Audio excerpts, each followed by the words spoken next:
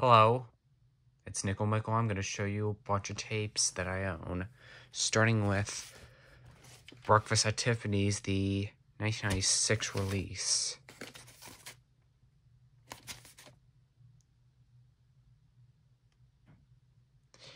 Still haven't watched this movie. I probably do need to.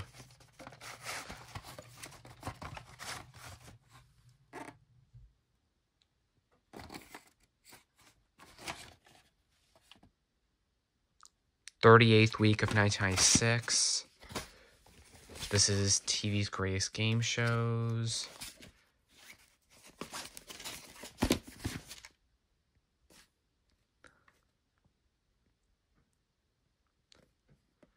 Yeah, this one looked really interesting, so I had to buy this one.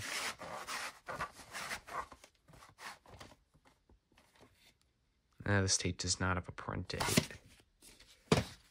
This one is Nick Guts All-Star Special. Sony Wonder release. No print date. A sealed BSB tape kind of an MTV thing, but it's just a bunch of bonus stuff. Now we're getting into the old stuff.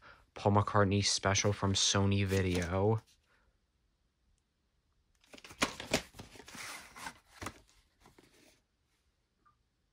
December 21st, 1987, and this tape, as I've showed, has the high-pitched black screen of death at the end.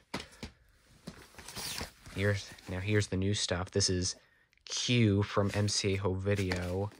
I believe this is actually one of the first MCA home video tapes ever released because, based on the labels, they're MCA video cassette inks. May 31st, 1983. This, this was a pretty good find. Now this one is It's Alive from Warner Home Video. Yeah, these tapes really are old.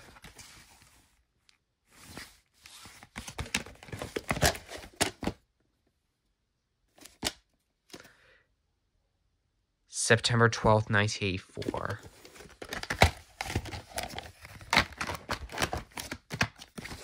And the last tape is Poltergeist 2 The Other Side. Got all of those MGM big box tapes. I also probably need to see this movie because it looks really entertaining. The MGM, uh, there's the cast. And the tray. And label fell off. No print dates, so I presume this tape should not have a black screen of death. So yeah, those are all the tapes.